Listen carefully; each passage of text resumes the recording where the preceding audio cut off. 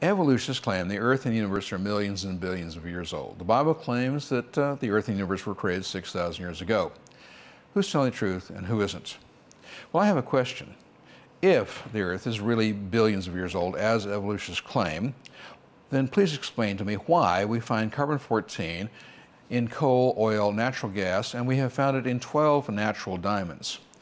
Now, carbon-14 breaks down relatively quickly. It has a half-life of 5,730 years. It should be completely gone in only 250,000 years. And the most sensitive instrument we have on Earth cannot measure carbon-14 beyond 17 and a half half-lives. That means that we cannot measure it beyond a supposed 103,000 years old.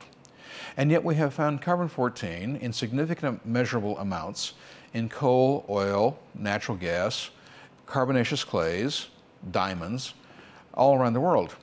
This proves that in fact these materials cannot be millions and millions of years old. They have to be less than 103,000 years old, but that would be totally consistent with an age of the Earth of 6,000. And if the Earth is really billions of years old, how do you explain the folded layers that we see of sedimentary rock around the world? Remember that these folded layers are layers of mud that have been laid down and then solidified into rock.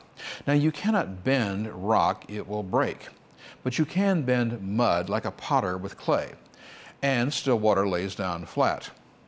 Now that tells us when we take a look at these folded layers around the world, we find in every mountain range of the world that in fact these are layers of mud laid down by the flood of Noah only about 4,500 years ago, laid down flat. But because of tectonic forces, they were folded, and then only after they were folded, they dried out into hard rock. And that is the evidence we see on the earth today. This proves that the earth is young, and you really can trust the Bible.